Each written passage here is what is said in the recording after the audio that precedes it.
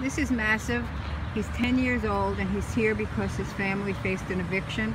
They are trying to get him back, but it's been about 10 days now, so he is available for adoption. He doesn't belong in a shelter, so if they can't find someplace, we'd like to find him a good home. He's got arthritis, and if you see, like he walks slowly, uh, I doubt if he could do stairs, so he really needs someplace on a ground floor, or maybe he could do a couple of stairs, but as you see, you see he walks slow, his legs are kind of stiff. He's dog friendly. He actually had a very nice time with Hope, one of our friendly female dogs yesterday.